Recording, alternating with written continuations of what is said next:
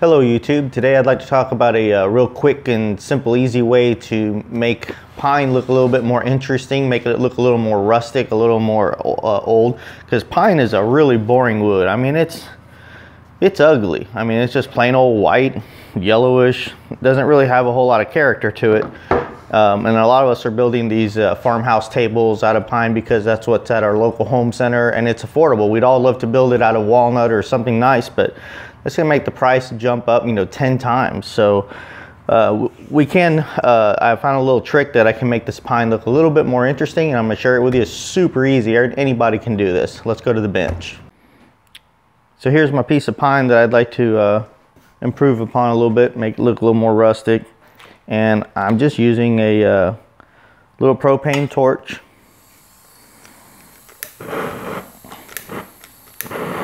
That's stubborn. There we go. Now we're just gonna go ahead and put some burn marks in random spots.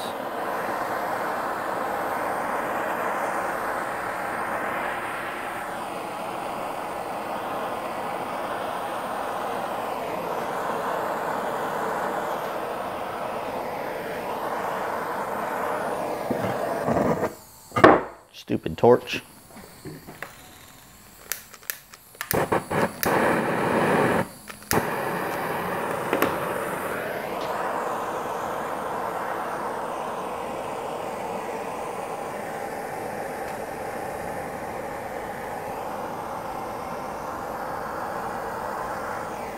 Just try to be random with it.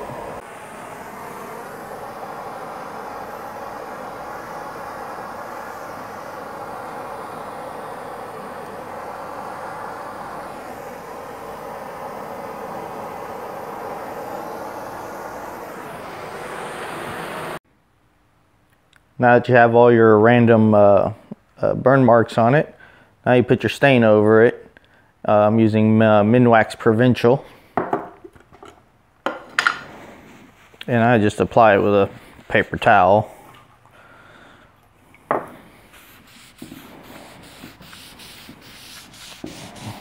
And it kind of blends in all your burn marks.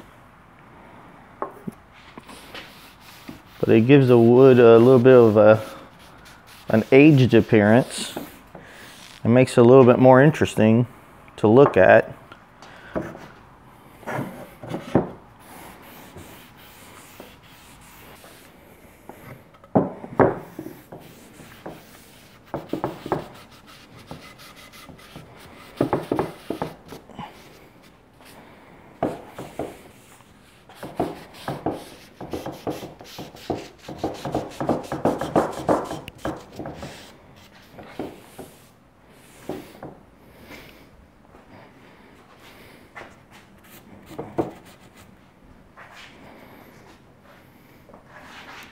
There it is with the stain on it. And uh, now we'll just apply some polyurethane to protect it and put it together. And next I'm just using uh, polyurethane by Minwax. Uh, Semi-gloss is what I like. And I've thinned this down 50% with mineral spirits. So it's a little easier to wipe. I don't like brushing it because I hate the brush marks. And when I wipe it, it just uh, comes on cleaner. I don't have to. I don't have. A, it just looks more natural. The the brush marks are terrible, I think. Um, and this is just easy.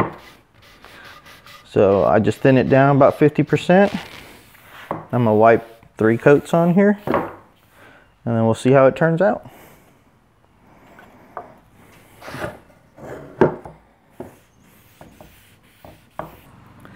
Well, I did four coats of the poly on there. Uh, they're very thin coats when you wipe it, which is awesome because the, the poly dries fast. It doesn't give it chance for uh, dust and stuff to stick to it and uh, I don't like the globular look that brushes leave in the brush strokes. And uh, the brush does put a thicker coat on it and it takes a lot longer to dry. Um, so I like doing thinner, thinner coats um, more more thin coats than a one big fat coat.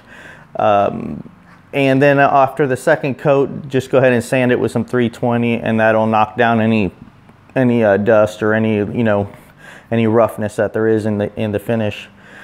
Uh, let me go ahead and show you what it looks like. I assembled uh, one of my table legs so you can see what the finished product looks like.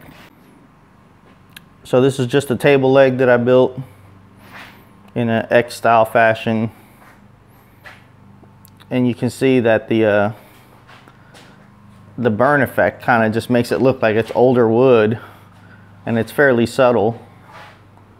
And it's just an easy way of giving pine a little bit of character without uh, breaking the bank. Just a little bit of torching. It looks stupid when you're first torching it, but after you apply the stain over top of it, it just kind of evens it out and just kind of makes it look old.